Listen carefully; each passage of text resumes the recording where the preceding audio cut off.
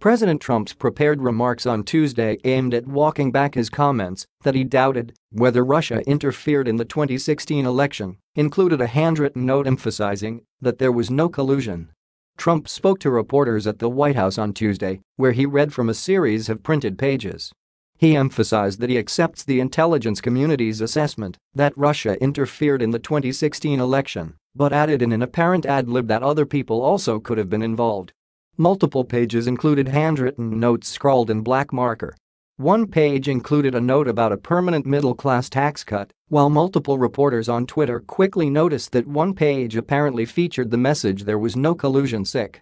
The note appeared on the same page that included Trump's explanation that he misspoke the previous day when he said, while standing alongside Russian President Vladimir Putin, that he saw no reason why it would be Russia that interfered in the election. Trump asserted Tuesday that he meant to say he saw no reason why it wouldn't be Russia that interfered.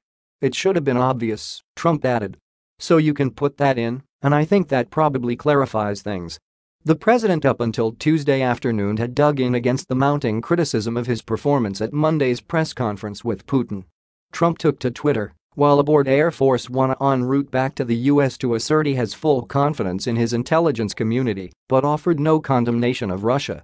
He again declined to clarify his remarks during an interview with Fox News' Sean Hannity after the summit in Helsinki. On Tuesday morning, Trump declared that his meeting with Putin was even better than the NATO summit he attended days earlier and criticized the news media, claiming they provided unfair coverage.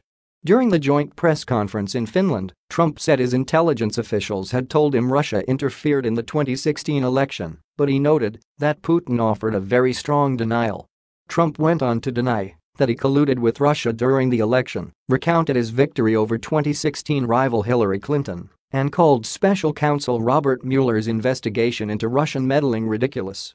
Democrats, Republicans and some of his fiercest allies in the media ripped Trump's performance, calling it pathetic, disgraceful, and disgusting, and urged the president to reverse course and stand up to Putin.